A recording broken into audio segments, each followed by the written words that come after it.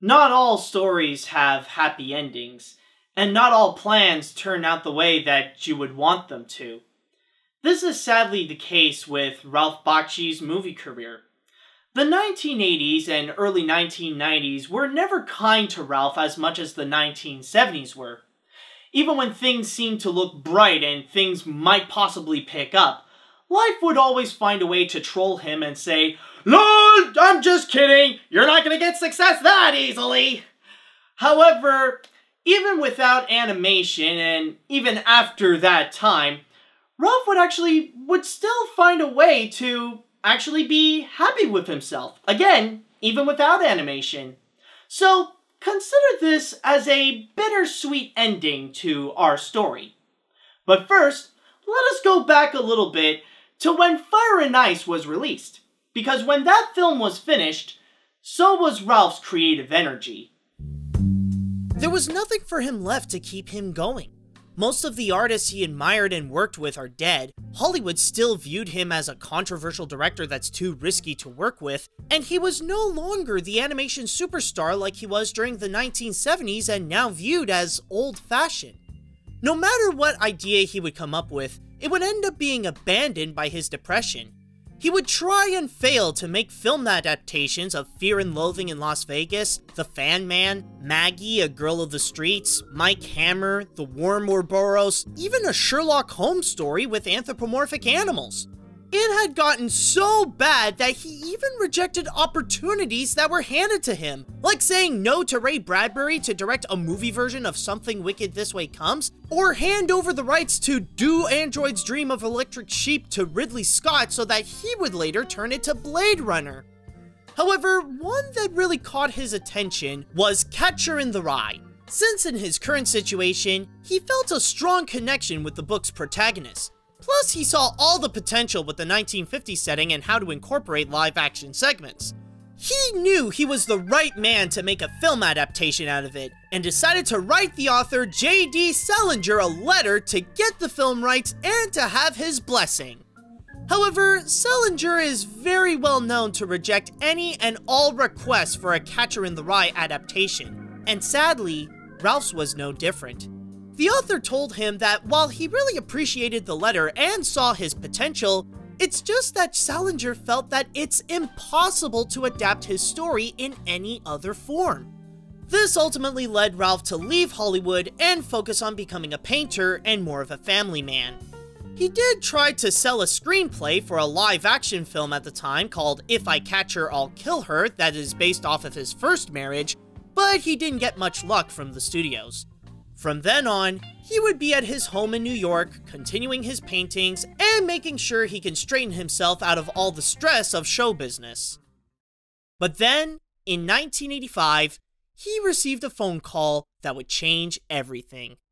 It was from Tony King, the manager of the Rolling Stones, who asked Ralph if he could make an animated music video for their cover of Bob and Earl's Harlem Shuffle, which he said yes and immediately got back into animation.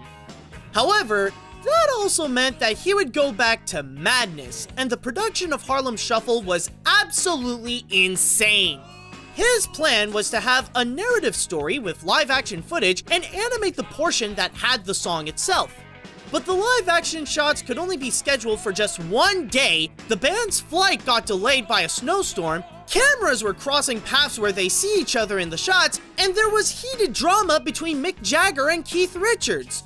Not only that, but the animation department had no choice but to crank up the speed of the production in order to deliver the entire piece of animation in a matter of a few weeks. And to top it all off, the deadline was coming at them real quick, since they had to make it in time for the 1986 Grammy Awards for the Stones Lifetime Achievement Award, and they were really tight on the budget where Ralph had to pay any extra fees himself. Because of all this, the team had to sacrifice any sense of continuity within the plot of the music video. But at the end of the day, Ralph successfully finished the project on time. But then, another phone call came, this time from president of TriStar Pictures, Jeff Sagansky, who was interested in a project that Ralph's team was developing called Bobby's Girl, and gave him $150,000 to make a full pitch.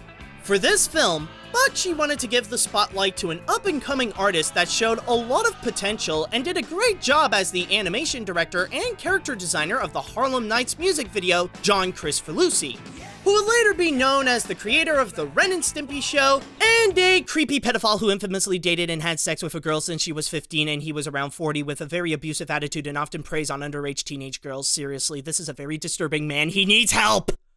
Anyways, while the team worked hard on developing this new movie, they suddenly hit a roadblock when Sagansky left TriStar and the new heads weren't into Bobby's Girl. Even when they tried to re-pitch it as a film set in Hollywood's golden age called Susie Loves Bobby, it didn't work out. However, the gang was not ready to give up. Ralph had one more chance to make a project happen. Otherwise, he would just go back home to his family and paintings. On April of 1987, Bakshi, Kricfalusi, Eddie Fitzgerald, Jim Reardon, Lynn Naylor, and Tom Minton all were brainstorming ideas for TV shows to pitch to the head of CBS's Saturday morning block, Judy Price. When the time came, Ralph threw everything and presented all his pitches, but unfortunately, none of them stuck, and Price said no to all. It wouldn't be until the last second when Ralph spontaneously said, I own the rights to Mighty Mouse. Technically, that was a flat out lie, but she didn't know, and it was CBS that had the rights anyway, so it all worked out. And Ralph had a new series to work on. Fast forwarding to September of the same year, Mighty Mouse The New Adventures made its premiere to great ratings and praise from both audiences and critics. That is until. I know someone else like that. Let's just say that Mighty Mouse snorted in some controversy that led the series to get cancelled a year later. Unfortunately, it was like coonskin all over again. The incident left a toll on Ralph, and it lost him an opportunity to make a 39 episode series based on his comic Junktown for Nickelodeon, which executives also felt like his goal to make it more jazzed up with a style from the 1920s and 1930s was too different to make sense. The only thing that came out of the planned show was the pilot Christmas in Tatertown, the channel's first original animated special. Luckily though, PBS would offer him a new chance to redeem himself by giving him $50,000 to make a half-hour live-action film for the series Imagining America called This Ain't Bebop, which gave him his creative groove back. So much so that not even a car crash could stop him from finishing the project. Seriously, the poor guy was all bandaged up and covered in stitches while in post-production. Once his body recovered and Bebop was done, he would go on to create two more animated projects.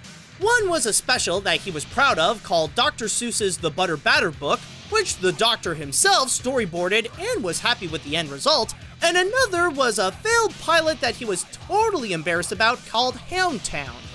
However, even if they brought in some decent money, Ralph wanted to make one more big project. Something that can cap off his career with a bang so that he can finally retire and be a full-time painter. And that would ultimately lead him to create Cool World. It's the story of Frank Harris, a World War II veteran who works as a cop in Cool World, a crazy animated universe where the cartoons are called doodles and real humans like Frank are called noids. One doodle in particular, Holly Wood, dreams of becoming a Noid in the real world, and she plans to do so by bringing her cartoonist creator Jack Deebs into Cool World and have sex with him. Now Frank has to stop Holly from pursuing her own selfish needs in order to save the barrier between the real world and Cool World before things get too chaotic. While many people nowadays would refer this as a Roger Rabbit ripoff, and that's from some of the nicer comments about it, the original idea was far different than what the project ultimately became. Ralph Bakshi's original Cool World was a live-action animation hybrid horror film where a human guy and a cartoon girl named Debbie Dallas have sex, and years later, the hybrid kid that came from that would pursue to kill his father for abandoning him. When he pitched this idea to Paramount Pictures in 1990, the executives loved it and immediately greenlit the film on the spot. Soon afterwards, Ralph and his gang headed to Las Vegas where they would spend three months building sets that would take the background paintings of Barry Jackson and blow them up 20 feet high so that Ralph could capture the feeling of a living walkthrough painting. However, while the crew was preparing the movie, something sinister was brewing in Paramount. One of the producers of Cool World was Frank Mancuso Jr., the son of then president of Paramount, Frank Sr. When he started producing throughout the 1980s, almost all of his works were horror films, most namely the Friday the 13th sequels. When he saw that his next movie to produce was yet another horror film, he felt unpleased and had a need to escape the horror genre. So, without telling anyone, he hired screenwriters Mark Victor and Michael Grace to create a brand new script that would be nothing like Ralph's original project, on top of toning it down to a PG 13 rating instead of going with a hard R. By the time Ralph and the team got the new script, the director was told that he had no choice but to make the film, or else Paramount would sue him. At that point, Ralph did what many directors dreamt of doing punching a producer in the face. However, the production arguments would not end there. There was also a lot of heat regarding the film's stars. Originally, Ralph wanted to have Drew Barrymore to play Debbie Dallas, now called Holly Wood, and Brad Pitt to be the cartoonist that would literally bang his drawing Jack Deebs. Of course, another fight would ensue. But then they agreed to keep Brad Pitt, now playing as the cop Frank Harris, and switch the casting to Gabriel Byrnes as Jack Deebs and Kim Basinger as Holly Wood, since at the time, she was one of those names that can make big box office money. Even though Paramount had more control than him on many aspects of the production, Ralph was relieved that he could still do whatever he wanted with the animation. His goal with the doodles of Cool World was to pay homage to the cartoons of his old workplace, Terrytoons, and of Fleischer Studios, known as the home of Betty Boop and Popeye. Throughout production, none of the animators were ever given that revised script of that movie. Nobody would ever know what would be the purpose of their work, since the only orders they got from Ralph was just to make something funny and to do whatever they want. This is why many scenes in the film are filled with weird cartoon characters running wild with no connection to what's happening in the plot. It does make me wonder though if many productions to recent animated films faced a similar issue. Because, I don't know about you, but pointless chaotic cartoony moments seem to be a popular thing to do! I guess Cool World is more influential than I thought! On a side note, while the doodles in Cool World are all original characters made for the film, there is one that came from a previous cartoon. Many Ralph Bakshi enthusiasts would notice a strong similarity between Nails and Sidney the Spider from Ralph's Christmas in Tatertown, especially when they both have a similar design and are both voiced by Charlie Adler. Oh, that was great, just great. I've been trying to take over Tatertown for years, but never like that. And did I ever tell you about the time I took up with the most delightfully stacked hussy from the project? Yeah. Right. We're two boys. Of course, as it is a Ralph Bakshi film, there was a moment when the movie received quite the controversy. But thankfully, it wasn't Ralph's fault this time. A key part in the promotional campaign is with Holly's sex appeal, and the biggest attempt to present it, literally, was by putting a 75 foot cutout of her on top of the Hollywood sign. The result made locals furious as they were protesting that it was considered offensive to the women of Los Angeles. But when it was released on July 10th, 1992, things would get worse for Cool World as it became a total failure. Critics were appalled by the absolute broken writing and unappealing characters, and the mix of live action and animation felt more unconvincing and amateurish. Even audiences felt let down because of its PG 13 rating and wanted the film to be even more wild and raunchy than what it ultimately became. As for the box office, it only managed to get half of its budget with around $14 million domestically. On the bright side, though, at least the soundtrack got some praise with songs from Moby, Electronic with Neil Tennant, and David Bowie. As Paramount tried to sell the movie as a more down and dirty Who Framed Roger Rabbit, it was ultimately rejected for not being cool enough. While Cool World didn't go as planned for Ralph Bakshi, he still had some energy to make more projects. However, it was evident that his passion was going less towards filmmaking. A year after his last film was released, Lou Arkoff, the son of heavy traffic producer Samuel Z. Arkoff, called Ralph to see if he could make a live-action low-budget movie for his Rebel Highway series. Like what he did for many years, he decided to pitch him his old script of If I Catch Her, I'll Kill Her. And this time, it was accepted! The film was released on September 16, 1994 on the TV channel Showtime under the new title Cool and the Crazy. And the stars were two up-and-rising actors that would later make a name for themselves, Alicia Silverstone and Jared Leto.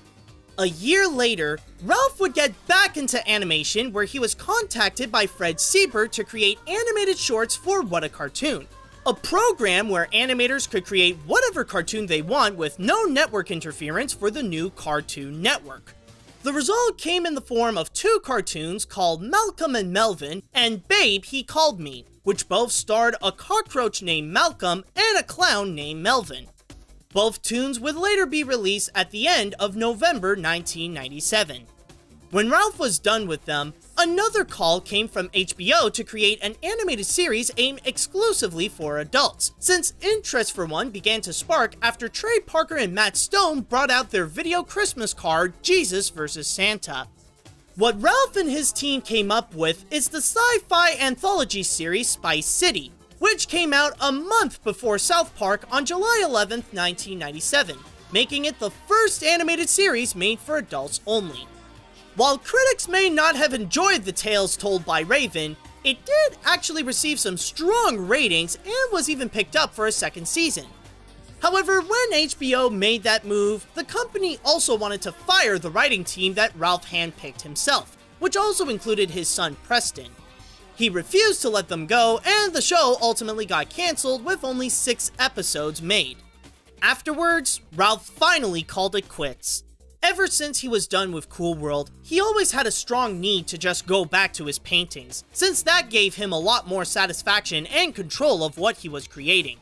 So once Spicy City was over, he decided to become a full-time painter he always wanted to be, and even moved to New Mexico in 2002 to give him more inspiration for his art.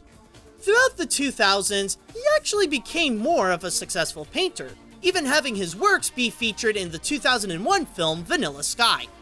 However, even when painting, Ralph never let go of his animation side. That will always be with him no matter what.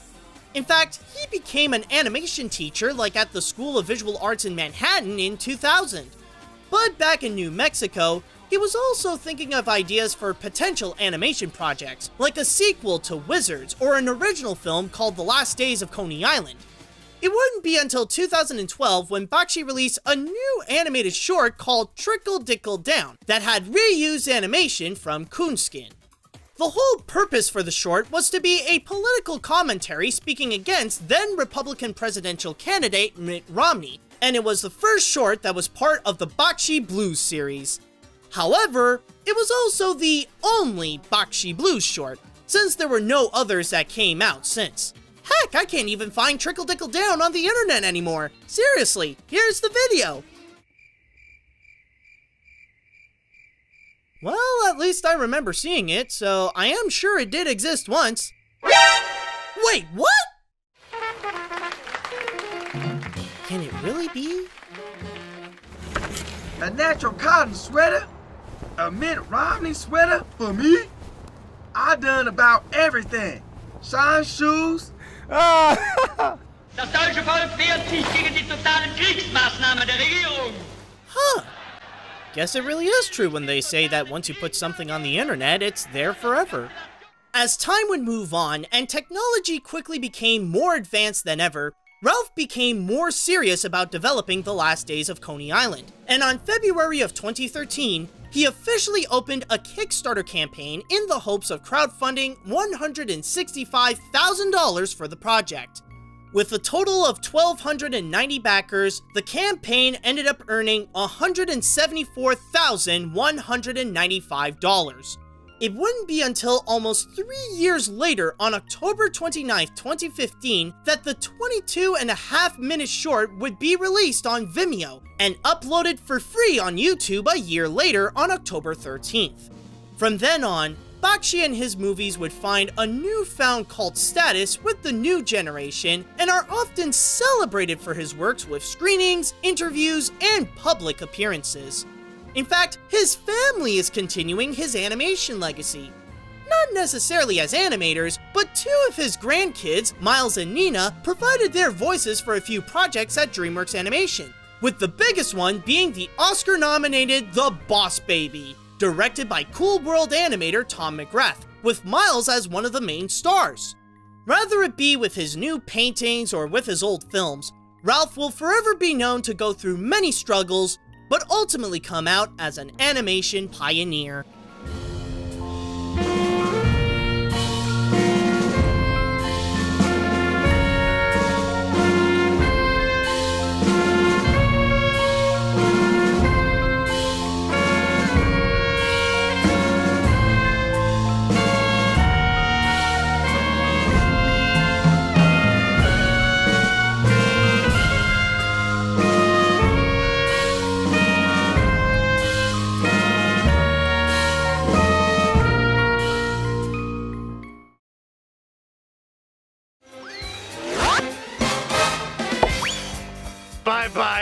Have a nice life.